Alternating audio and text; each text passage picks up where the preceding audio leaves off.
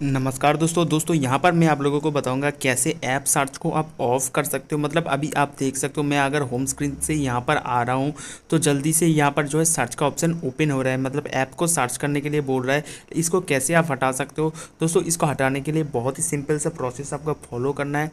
दोस्तों, अगर आप हमारे चैनल में नए तो उससे पहले चैनल को सब्सक्राइब, इस वीडियो को एक लाइक करके ज़रूर जाना। तो सबसे पहले आपको क्या करना है दोस्तों, यहाँ पर आ जाना है सबसे पहले तो उसके बाद आप यहाँ पर आप देख सकते हो, एक सेटिंग का छोटा सा ऑप्शन दिखा रहा है। आपको सिंपली यहाँ पर जो है सेटिंग के ऑप्शन पे क्लिक करना है। दोस्तों, ये मेरा Poco X three Pro phone है। अगर आपका कोई दूसरा फ़ोन है तो वहाँ पर अगर मैनेज का ऑप्शन दिखा रहा है तो वहाँ पर आपको मैनेज पे क्लिक करना है। क्लिक करने के बाद दोस्तों, यहाँ पर आप देख सकते हो open search after opening app drawer यहाँ पर आप देख सकते हो, ये जो है ऑप्शन है, इसको आपको बंद कर देना है। ये जो ऑप्शन है, ये इसको ऑफ़ कर दोगे तो आपका जो ये प्रॉब्लम है कम्प्लीटली सॉल्व हो जाएगा। अभी मैं देख सकता हूँ दोस्तों, यहाँ से मैं अगर ओपन कर रहा हूँ तो डायरेक्टली सर्च ऑप्शन नहीं आ रहा है। तो ऐसे ही आप इसको बंद कर सकते हो दोस्तों। वीडियो पसंद आया तो चैनल को सब्सक्राइब वीडियो को एक लाइक करके ज़रूर जाना।